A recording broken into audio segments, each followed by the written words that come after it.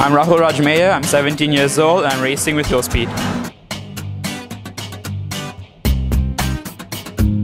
My most memorable racing moment would most probably be getting second in the Formula Gulf 1000 Championship in the UAE and losing the championship lead by one point. My most treasured possession would most probably have to be my two pet dogs and my two cats, which I love very much. The best advice I've ever been given, I'm not quite sure who it was by, but it was to be it was to take one race at a time and just never bin it, never do anything reckless, nothing you'll ever regret, just bring the car back safely.